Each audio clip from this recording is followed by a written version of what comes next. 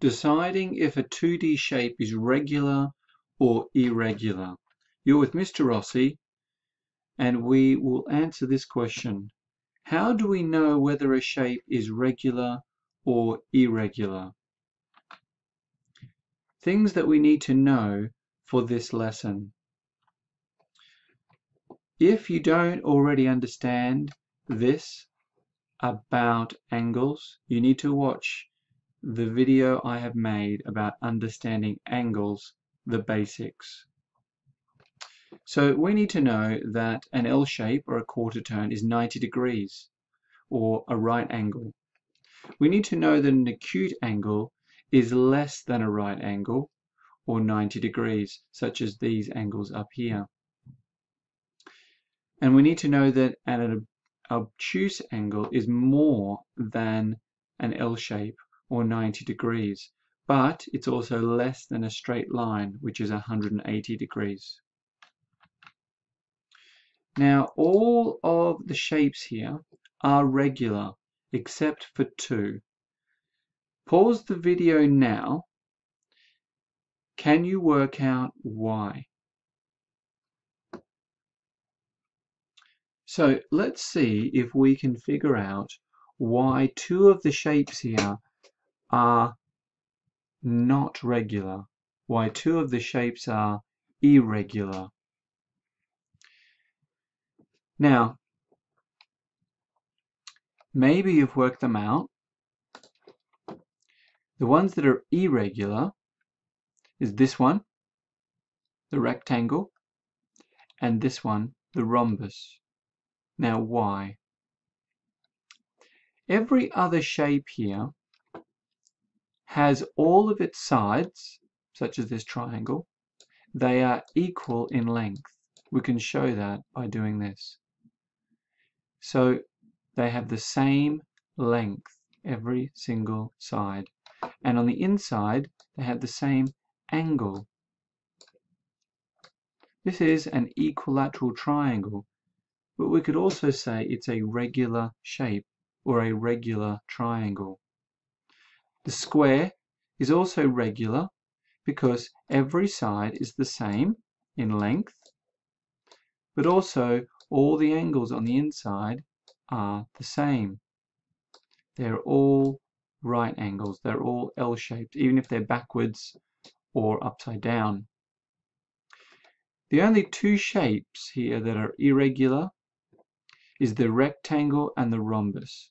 And that's because the rectangle it has this side and this side the same. And this side and this side are the same. But they're not all the same, are they? Even though the angles on the inside are all right angles. The sides are different lengths, so it's irregular. The rhombus is the other one that's irregular because the angles are different. This angle here is bigger than an L shape, so it's obtuse. But this angle here is smaller than L shape, it's acute. So the angles on the inside are not all the same. This one is obtuse, this one is acute. And it's irregular because the angles are different to each other, even though the sides are all the same length. Because the angles are different, it's still irregular. So, we can work out this little rule. A regular shape has the same sides, they all have to be equal in length, and they all have to have, uh, it has to have all its angles on the inside the same as well. So the square, the square, let's just label them quickly, square, rectangle, rhombus, parallelogram, kite. The square is the only one which is regular. All its sides are the same, and all its angles on the inside are right angles. So it ticks both of these boxes, so it's regular. Now let's see why these other shapes are irregular. We've already seen that the rectangle, its sides are not all the same length, even though it has all its angles the same. So it doesn't tick both the boxes, so it is irregular. How about the rhombus? Well, we've already seen that that is irregular because it's not because the sides are different. It ticks that box. It's because the angles on the inside are different. Now let's have a look at the kite. Well, the kite has different length sides. This side looks like it's the same as this side in length, and this side and this side look like they're the same in length, but they're not all the same. So that means it doesn't tick this, this box with all sides being the same, so it is irregular.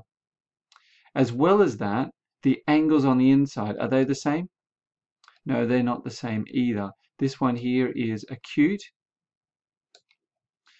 and this one here is slightly bigger than an L shape. So these two here are obtuse. So the angles are not the same on the inside. So that's another reason why this shape is irregular. Now let's have a look at the parallelogram. The parallelogram doesn't have the same sides, doesn't have all its sides the same length. This side looks like it's the same length as this side, and these two look like they're the same size, but they're not all the same size, so that means it must be irregular. But we can check the angles as well anyway. Are the angles the same on the inside?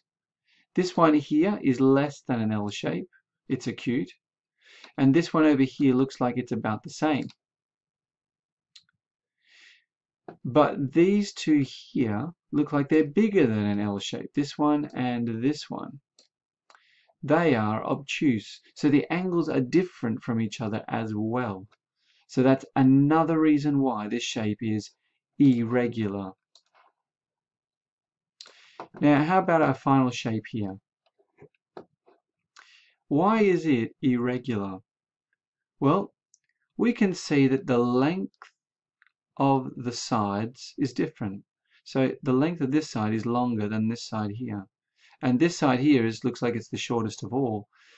So the sides aren't the same length, so it must be irregular. And that's without even looking at the angles. But we can, if we want to check the angles, we could also see that this is acute because it's smaller than L shape.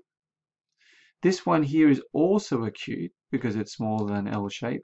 But this angle is even smaller than this one. And this angle here goes all the way from here all the way around to here. That's even bigger than a straight line. Because a straight line would be going down here, wouldn't it? Yeah, to make a straight line with that one. So these angles are different on the inside as well, which is another reason why this shape is irregular.